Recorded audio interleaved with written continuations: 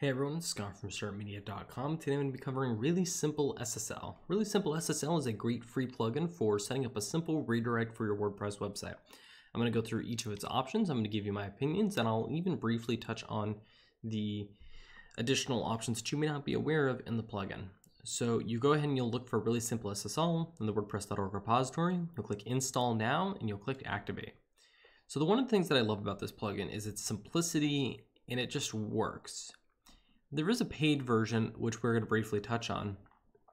But what you do is if you go ahead and you'll click activate, what this will do is it'll set up a PHP redirect.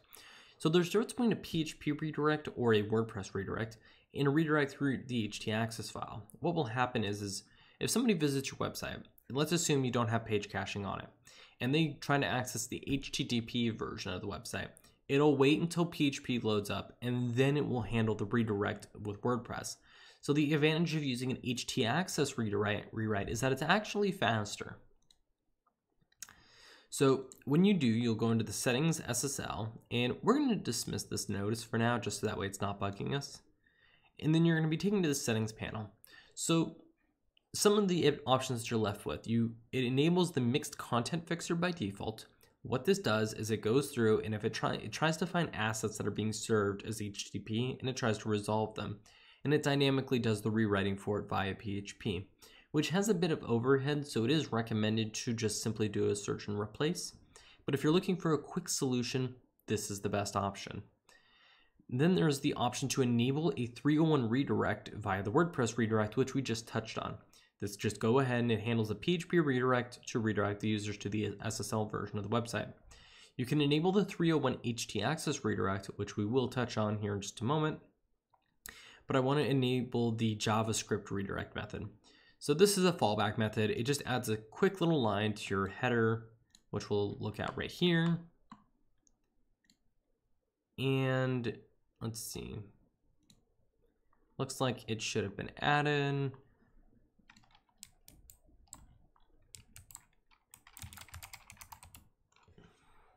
Ah, here it is. If the document protocol is not HTTPS, then replace it with HTTPS. So very simple JavaScript redirect. If the website is, if, if every other redirect method fails, this will make sure they get sent to the correct one.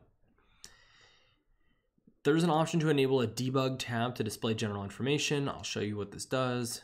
If you enable this, you'll get a debug menu right over here, which basically just spits out some nice information regarding the SSL setup and the server information, and then you send this off to the developer when they're trying to diagnose an issue.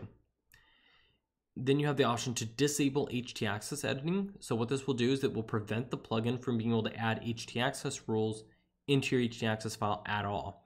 So if you have a client, for instance, and you don't want them to enable this option because you fear that they're going to break something or it will break something in your testing, then you'll want to enable this option. You also then have another option to use the alternative method to fix the mixed content errors. This is just a fallback method. If you notice you have some kind of weird server setup and you notice the mixed content fixer isn't working, then go ahead and try switching this option on to see if it works. And then the other option that I recommend is you dismiss all the really simple SSL notices because I find them really annoying personally. We're going to turn this off and then we're going to enable the htaccess 301 redirect. So the htaccess 301 redirect is the best option, but as it mentions, if you enable it and you get locked out, you're gonna need to have FTP or your file manager, something that allows you to regain access to your WordPress admin panel in the event of a fatal error. And this does happen quite frequently depending on your server setup.